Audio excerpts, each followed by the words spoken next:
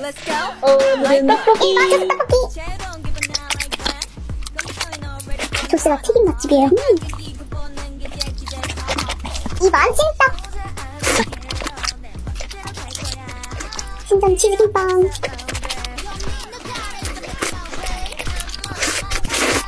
점점 매워지고 있어요 3번 엽떡 엽떡엔 춘당치가 엄청 쫀득해요 먹어요. 4번 에너지 떡볶이? 은떡엔 치즈 추가해야 돼요.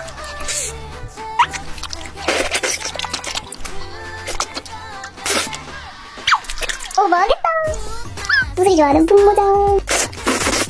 역시 로제